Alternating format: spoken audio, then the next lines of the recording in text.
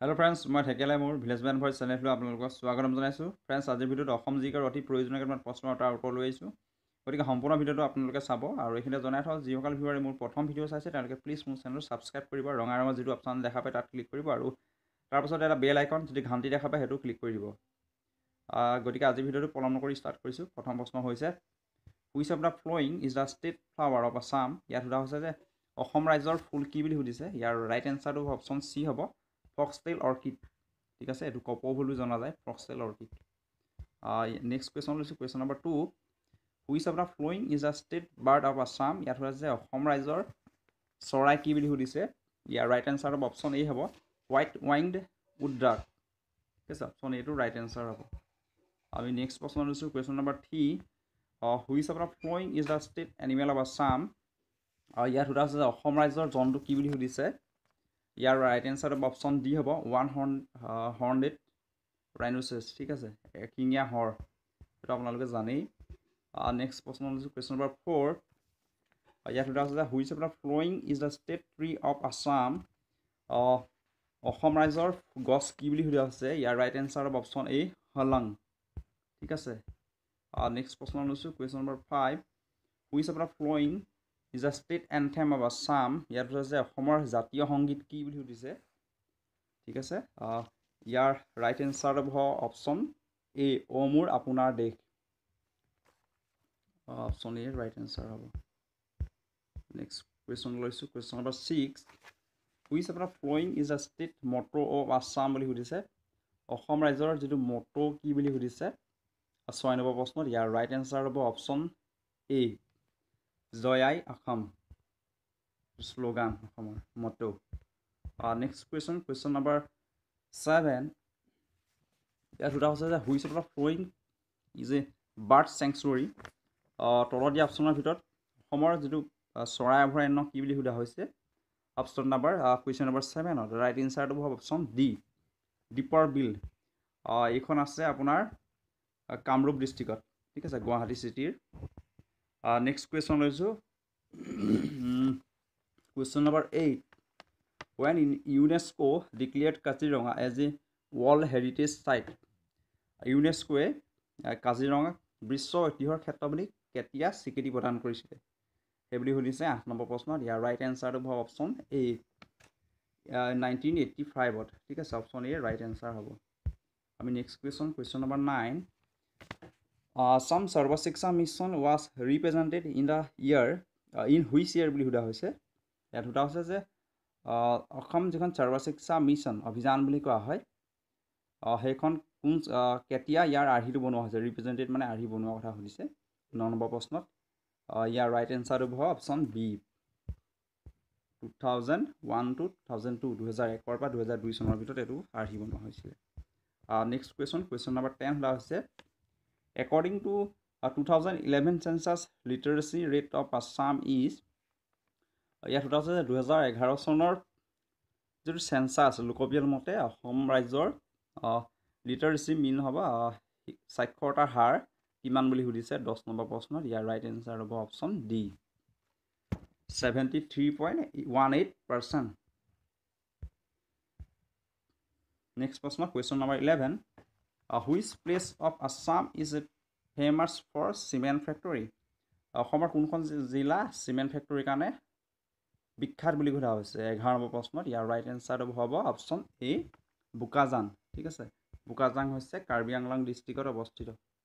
চ' next question লৈছোঁ আমি question number twelve ইয়াত সোধা হৈছে which of which is the largest coal mine of Assam অসমৰ চবতকৈ ডাঙৰ যিটো কয়লা ক্ষেত্ৰ কয়লা খনিখন ক'ত আছে বুলি সোধা হৈছে? বাৰ নম্বৰ প্ৰশ্নত ৰাইট এনচাৰটো হ'ব অপশ্যন এ জয়পুৰ মাকুমত আছে। ঠিক আছে অপশ্যন এইটো ৰাইট এনচাৰ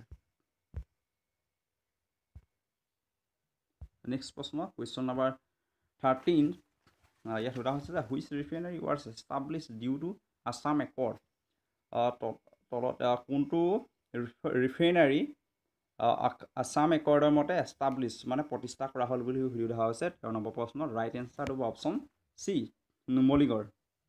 ঠিক আছে এটা ইম্পৰ্টেণ্ট কুৱেশ্যন নেক্সট প্ৰশ্ন লৈ লৈছোঁ আমি। কুৱেশ্যন নাম্বাৰ ফৰ্টিন ইয়াত সোধা হৈছে যে total number of district in Assam is অসমৰ মুঠ জিলা কিমান বুলি সুধিছে। ইয়াৰ ৰাইট এনচাৰটো হ'ব অপশ্যন চি থাৰ্টি থ্ৰী বৰ্তমান তেত্ৰিছখন জিলা হৈছেগৈ অসমৰ মুঠ জিলা ডিষ্ট্ৰিক্ট ঠিক আছে আমি নেক্সট প্ৰশ্ন লৈছোঁ কুৱেশ্যন নাম্বাৰ ফিফটিন ইয়াত সোধা হৈছে যে which is the largest state of India geographically ভৌগোলিক ক্ষেত্ৰৰ পৰা অসম ভাৰতবৰ্ষৰ চবতকৈ সৰ্বাধিক ডাঙৰ ৰাজ্যখনৰ নাম কি বুলি সুধিছে?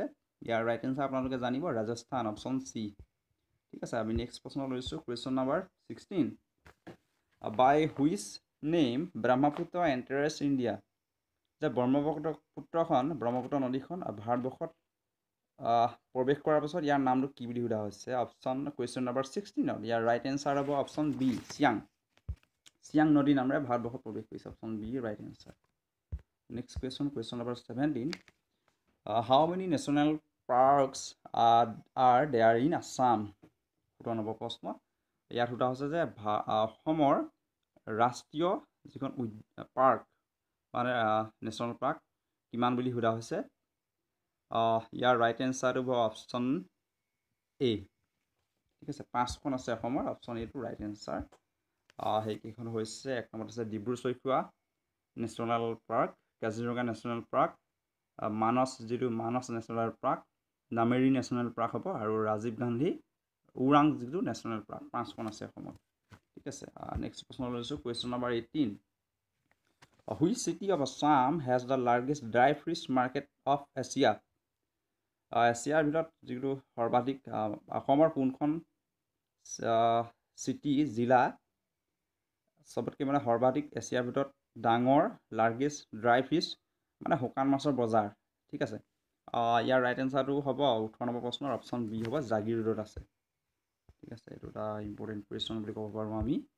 নেক্সট প্ৰশ্ন লৈছোঁ question number nineteen who was the first chief minister of Assam এইটো আপোনালোকে জানিবই অসমৰ প্ৰথম মুখ্যমন্ত্ৰী হৈছিলে Gopinath Bordoloi option C right answer হ'ব নেক্সট প্ৰশ্ন লৈছোঁ question number twenty the first Assamese film Joymoti was release in the year অসমৰ প্ৰথম বোলছবি জয়মতী কোন চনত ৰিলিজ হৈছিলে বুলি সোধা হৈছে বিছ নম্বৰ প্ৰশ্নত ইয়াৰ ৰাইট এনচাৰ হ'ব option B nineteen thirty five ঊনৈছশ পঁয়ত্ৰিছ চনত বোলছবি ৰিলিজ হৈছিলে। জয়মতী ঠিক আছে। নেক্সট প্ৰশ্ন। Number twenty one Bhogeswar Baruah wins a medal in the dash Asian games যে ভোগেশ্বৰ বৰুৱাই এটা মেডেল লাভ কৰিছিলে এছিয়ান গেমছত কোন চনত লাভ কৰিছিলে বুলি সুধিছে? একৈছ নম্বৰ প্ৰশ্নত ৰাইট এনচাৰটো হ'ব option B nineteen sixty six এইটো এটা বহুত important question very very important question next question who was the last king of Ahom kingdom in Assam অসমৰ শেষৰজন আহোম ৰজাক কোন বুলি সোধা হৈছে বাইছ নম্বৰ প্ৰশ্নত ইয়াৰ ৰাইট এনচাৰটো হ'ব অপশ্যন চি পুৰন্দৰ সিংহ এইটো আপোনালোকে চাগে জানিবই option C right answer next প্ৰশ্ন লৈছোঁ question number twenty three the state anthem অ' মোৰ আপোনাৰ days was first publish in the magazine name যিটো অসমৰ যিটো সং ষ্টেট এনথেম মানে অসম ৰাজ্যৰ যিটো সংগীত অ' মোৰ আপোনাৰ দেশ প্ৰথম কোনখন মেগাজিনত পাব্লিছ হৈছিলে বুলি সুধিছে প্ৰকাশ পাইছিলে বুলি সুধিছে তেইছ নম্বৰ প্ৰশ্নত ৰাইট এনচাৰ হ'ব অপশ্যন এ বাঁহী কাক মেগাজিনত প্ৰকাশ হৈছিলে অপশ্যন এইটো এটা ইম্পৰ্টেণ্ট কুৱেশ্যন নেক্সট প্ৰশ্ন question number twenty four the first Assamese magazine Arunodoi was publish in the year অসমৰ প্ৰথমখন আলোচনী আছিলে অৰুণোদয় এইখন কোন চনত পাব্লিছ হৈছিলে বুলি সুধিছে চৌবিছ নম্বৰ প্ৰশ্নত ৰাইট এনচাৰ হ'ব option A eighteen forty six ঠিক আছে ওঠৰশ ছয়চল্লিছ চনত আৰু প্ৰকাশ পাইছিলে। ফাৰ্ষ্ট পাব্লিছ নেক্সট প্ৰশ্ন question number twenty five the first Assamese to compile a dictionary name Hemkosh is অসমৰ প্ৰথমখন যিটো অসমীয়া অভিধান হেমকোষ সংগ্ৰহ মানে সংকলন কোনে কৰিছিলে বুলি সুধিছে সম্পাদনা মিনছ কম্পাইল পঁচিছ নম্বৰ প্ৰশ্ন ৰাইট এনচাৰ হ'ব option D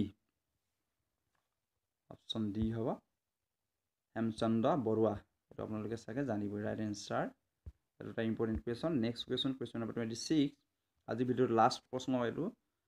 Who is the first Assamese to receive Jnanpith award অসমৰ প্ৰথম অসমীয়া যি জ্ঞানপীঠ বঁটা পাইছিলে কোন বুলি সুধিছে? সেইটো আপোনালোকে জানিব ইয়াৰ ৰাইট এনচাৰ হ'ব অপশ্যন বি যে বীৰেন্দ্ৰ কুমাৰ ভট্টাচাৰ্য ঠিক আছে? চ' এইটো এটা ইম্পৰ্টেণ্ট কুৱেশ্যন চ' ফ্ৰেণ্ডছ আজিৰ ভিডিঅ'টো ইমানেই আছিলে ভিডিঅ'টো কেনেকুৱা পালে প্লিজ জনাব কমেণ্ট কৰি পানি আৰু লগতে লাইক কৰিব আৰু শ্বেয়াৰ কৰিব পাৰিলে। So' thank you thanks for ৱাচিং